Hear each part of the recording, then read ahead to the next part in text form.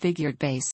Figured bass, or thorough bass, is a kind of musical notation in which numerals and symbols, often accidentals, indicate intervals, chords, and non-chord tones that a musician playing piano, harpsichord, organ, lute, or other instruments capable of playing chords, play in relation to the bass note that these numbers and symbols appear above or below. Figured bass is closely associated with basso continuo, a historically improvised accompaniment used in almost all genres of music in the Baroque period of classical music, 1600 to 1750, though rarely in modern music. Other systems for denoting or representing chords include plain staff notation, used in classical music, Roman numerals, commonly used in harmonic analysis. Macro symbols, sometimes used in modern musicology, the Nashville number system, and various chord names and symbols used in jazz and popular music for example, C major or simply C, D minor or DM, G, etc. Basso continuo parts, almost universal in the Baroque era, 1600 to 1750, provided the harmonic structure of the music. The phrase is often shortened to continuo, and the instrumentalists playing the continuo part are called the continuo group. The makeup of the continuo group is often left to the discretion of the performers, and practice varied enormously within the Baroque period. At least one instrument capable of playing chords must be included, such as a piano, harpsichord, organ, lute, theorbo, guitar, regal, or harp. In addition, any number of instruments which play in the bass register may be included, such as cello, double bass, bass viol, or bassoon. The most common combination, at least in modern performances, is harpsichord and cello for instrumental works and secular vocal works, such as operas, and organ for sacred music. Typically performers match the instrument families used in the full ensemble, including bassoon when the work includes oboes or other winds, but restricting it to cello and or double bass if only strings are involved.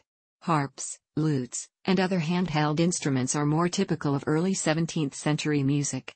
Sometimes instruments are specified by the composer, in L'Orfeo, 1607, Monteverdi calls for an exceptionally varied instrumentation, with multiple harpsichords and lutes with a bass violin in the pastoral scenes followed by lamenting to the accompaniment of organo di legno and chitarrone, while Charon stands watch to the sound of a regal. The keyboard, or other chord-playing instrument, player realizes a continuo part by playing, in addition to the notated bass line, notes above it to complete accords, either determined ahead of time or improvised in performance.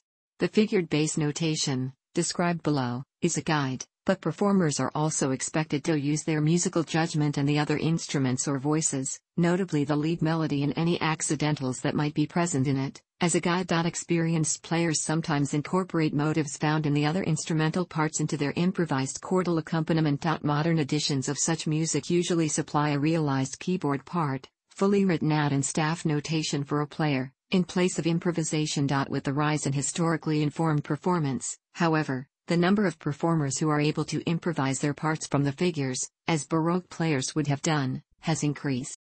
Basso continuo, though an essential structural and identifying element of the Baroque period, continued to be used in many works, mostly, but not limited to, sacred choral works, of the classical period, up to around 1800.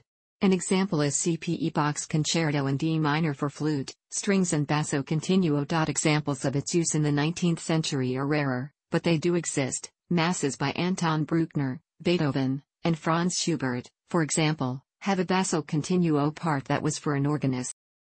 A part notated with figured bass consists of a bass line notated with notes on a musical staff plus added numbers and accidentals, or in some cases, backslash is added to a number, beneath the staff to indicate what intervals above the bass notes should be played, and therefore which inversions of which chords a be played. The phrase tasto solo indicates that only the bass line, without any upper chords, is to be played for a short period, usually until the next figure is encountered. This instructs the chord playing instrumentalist not to play any improvised chords for a period. The reason Tasto solo had to be specified was because it was an accepted convention that if no figures were present in a section of otherwise figured bass line, the chord-playing performer would either assume that it was a root position triad, or deduce from the harmonic motion that another figure was implied. For example, if a continuo part in the key of C begins with a C bass note in the first measure, which descends to a B in the second measure. Even if there were no figures, the chord playing instrumentalist would deduce that this was most likely a first inversion dominant chord, spelled BDG, from bottom note of the chord to the top. Composers were inconsistent in the usages described below. Especially in the 17th century, the numbers were omitted whenever the composer thought the chord was obvious. Early composers such as Claudio Monteverdi often specified the octave by the use of compound intervals such as 10, 11, and 15. Contemporary figured bass abbreviations for triads and seventh chords are shown in the table to the right. The numbers indicate the number of scale steps above the given bass line that a note should be played. For example, here, the bass note is a C, and the numbers 4 and 6 indicate that notes a fourth and a sixth above it should be played, that is an F and an A. Dot. In other words, the second inversion of an F major chord can be realized as in cases where the numbers 3 or 5 would normally be understood, these are usually left out. For example, has the same meaning as, and can be realized as, although the performer may choose which octave to play the notes in and will often elaborate them in some way, such as by playing them as arpeggios rather than as block chords, or by adding improvised ornaments, depending on the tempo and texture of the music. Sometimes, other numbers are omitted, a 2 on its own or indicates, for example, from the figured bass writer's perspective, this bass note is obviously a third inversion seventh chord, so the sixth interval is viewed as an interval that the player should automatically infer. In many cases entire figures can be left out, usually where the chord is obvious from the progression or the melody. Sometimes the chord changes but the bass note itself is held. In these cases the figures for the new chord are written wherever in the bar they are meant to occur. When the bass note changes but the notes in the chord above it are to be held, a line is drawn next to the figure or figures, for as long as the chord is to be held, to indicate this. Note that when the bass moves the chord intervals have effectively changed, in this case from 2, but no additional numbers are written. When an accidental is shown on its own without a number, it applies to the note a third above the lowest note, most commonly, this is the third of the chord. Otherwise, if a number is shown, the accidental affects the set interval. For example, this, showing the widespread default meaning of an accidental without number is applying to the third above the bass. Sometimes the accidental is placed after the number rather than before it.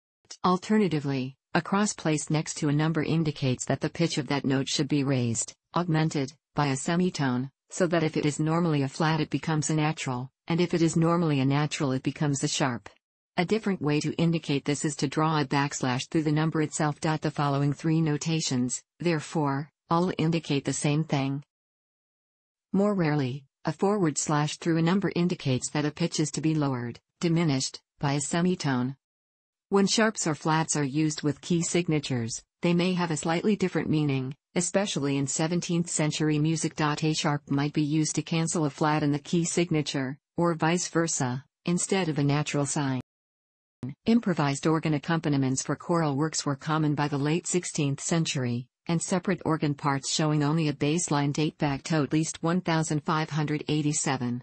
In the mid 16th century, some Italian church composers began to write polychoral works. These pieces, for two or more choirs, were created in recognition of particularly festive occasions, or else to take advantage of certain architectural properties of the buildings in which they were performed, which created natural reverberation. With eight or more polyphonic voice parts to keep track of in performance, works in polychoral style required some sort of instrumental accompaniment.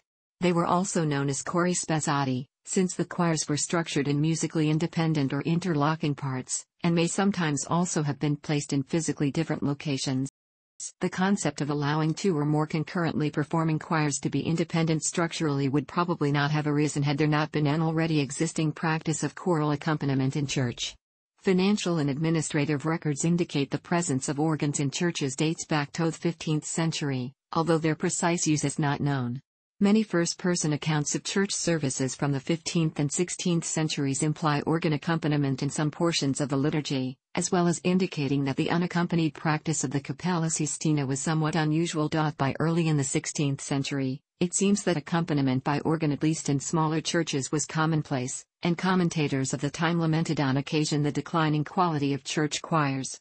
Even more tellingly, many manuscripts, especially from the middle of the century and later, feature written out organ accompaniments.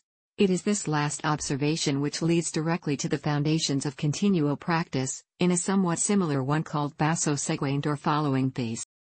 Written out accompaniments are found most often in early polychoral works, those composed, obviously, before the onset of concerted style and its explicit instrumental lines, and generally consist of a complete reduction, to what would later be called the grand staff, of one choir's parts. In addition to this, however, for those parts of the music during which that choir rested was presented a single line consisting of the lowest note being sung at any given time, which could be in any vocal part.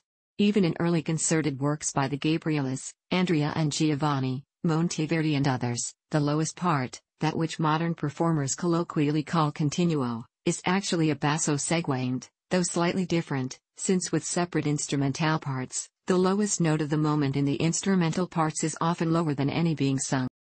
The first known published instance of a basso seguente was a book of introits and alleluias by the Venetian Placido Falconio from 1575. What is known as figured continuo, which also features a bass line that because of its structural nature may differ from the lowest note in the upper parts, developed over the next quarter century. The composer Lodovico Viadana is often credited with the first publication of such a continuo, in a 1602 collection of motets that according to his own account had been originally written in 1594. Viadana's continuo, however, did not include figures. The earliest extant part with sharp and flat signs above the staff is a motet by Giovanni Croce, also from 1594.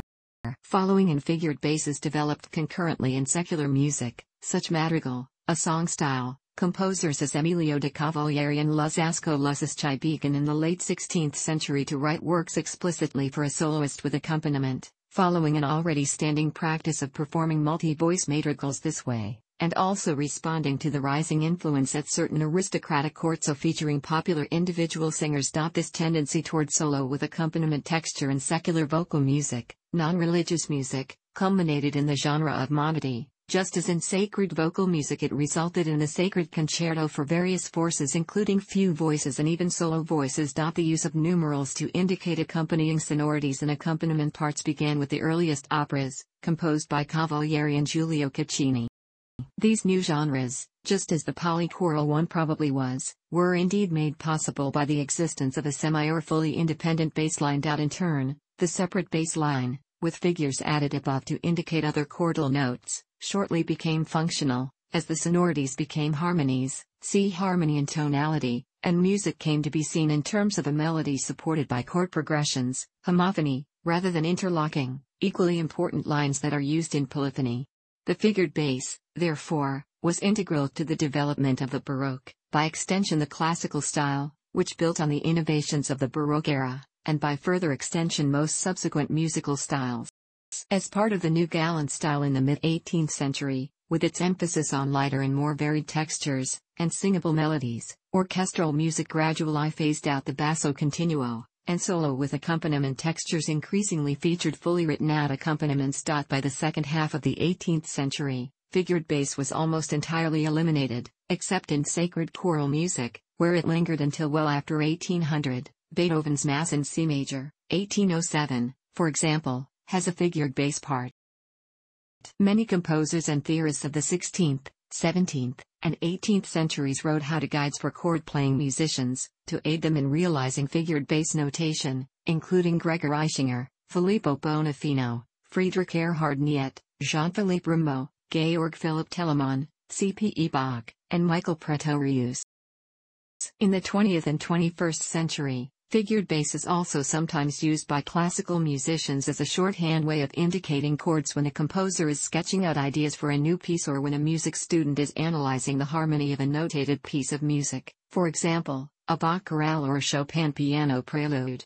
Figured bass is not generally used in modern musical compositions, except for neo-Baroque pieces. A form of figured bass is used in notation of accordion music, another simplified form is used to notate guitar chords. In the 2000s, outside of professional Baroque ensembles that specialize in the performance practice of the Baroque era, the most common use of figured bass notation is to indicate the inversion in a harmonic analysis or composer's sketch context, however, often without the staff notation, using letter note names followed with the figure. For instance, if a piano piece had a C major triad in the right hand CEG, With the bass note a G with the left hand, this would be a second inversion C major chord, which would be written C. If this same C major triad had an E in the bass, it would be a first inversion chord, which would be written C or C. This is different from the jazz notation, where a C means the major sixth chord C E G A, i.e., a C major with an added sixth degree. The symbols can also be used with Roman numerals in analyzing functional harmony, a usage called figured Roman, C chord symbol. Thanks for watching. Don't forget like the video and don't forget to subscribe.